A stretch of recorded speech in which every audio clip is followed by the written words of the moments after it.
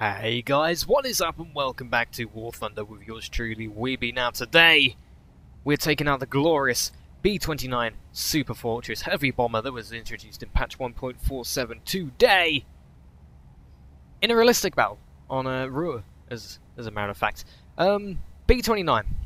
Now, before you ask, no, I didn't pay for this in Golden Eagles. I did actually legitimately grind this.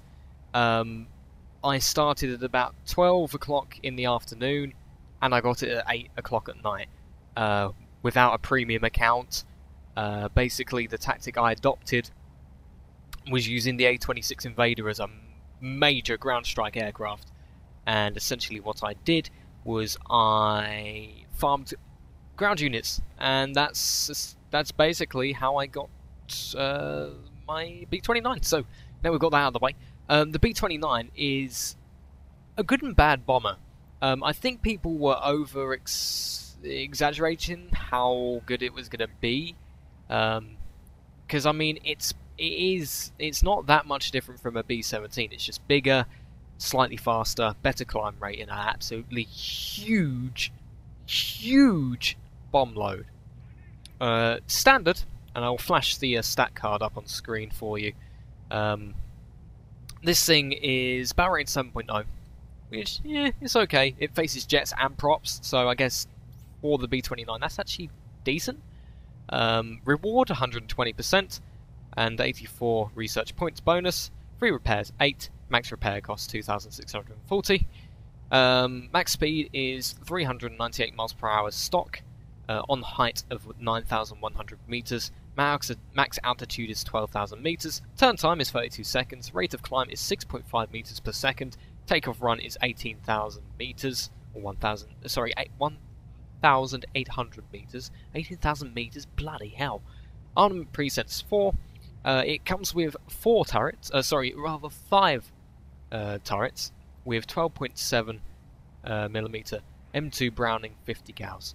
Um, or rather, actually, no, it's five turrets with dual 50 cals and then the rear gunnery seat or position with uh, two M2 Browning 50 cals in it, uh, with ammo amount of 5,050, which isn't too bloody bad to be fair. Uh, reload time of 20 seconds, and the bombs it carries stock is 2,500 pound ANM 64 bombs. Now, again, this plane is just you don't really buy one of these things to uh, for it to be good, so to speak. You more buy it because it's an actual B29. You know, I've got the Enola Gay skin on this. I mean, that that's only taken a matter of days or hours to be able to put up on the live site. But um, I am thoroughly enjoying this this aircraft. I really am. Um, on its own, it can actually look after itself, as shown here. I mean, I'm one of the last alive. Um, I am using this plane to its historical abilities. Uh, I'm using its climb rate and its bomb load to my advantage. Uh, I must admit, I do lose this battle uh, because at the end of the day, I'm on my own and the enemy team are going to be searching for me. Uh, I don't actually get shot down though. I do survive the match, but you know the point remains that uh, unfortunately, if you want to survive in a B-29, you have to go at high altitude. Uh, you can't afford to go low which is what I'm seeing a lot of B-29 pilots do at the moment. They're flying it like a B-17, which isn't ideal. Yeah, you want to be climbing off to the side, then back over the air, uh, uh, the area of operations, because currently, with the way that this thing works, this thing takes the slightest of damage and it is gone. I mean, quite literally, I haven't died of a fire. I haven't died of me, you know, losing a flap and leaning, this thing just evaporates. Um, it's not. It can't take damage very well. I don't know if that's historical or not. It might be. Um, I know some of the B-29s. I don't know if this this variant had pressurized cabins, etc., etc. But it, this thing does go fall out the sky pretty quick. Hence why you need to play this thing stealthily. You don't want to be getting noticed by anyone. That's why I'm up at high altitude above the clouds.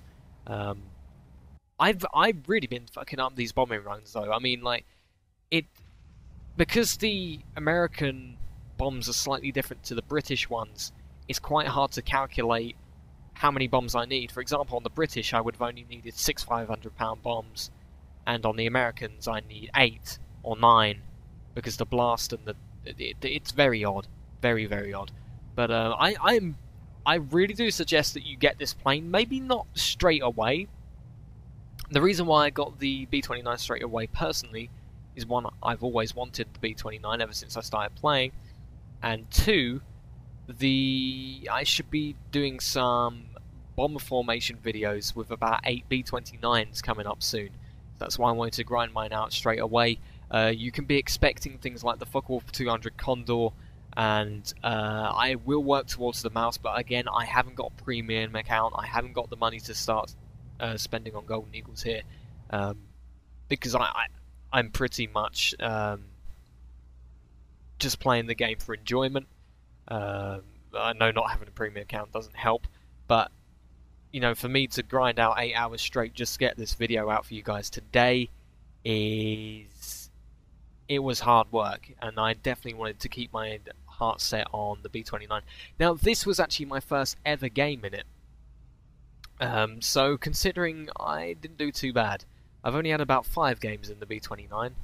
Um, this is the main one I survived.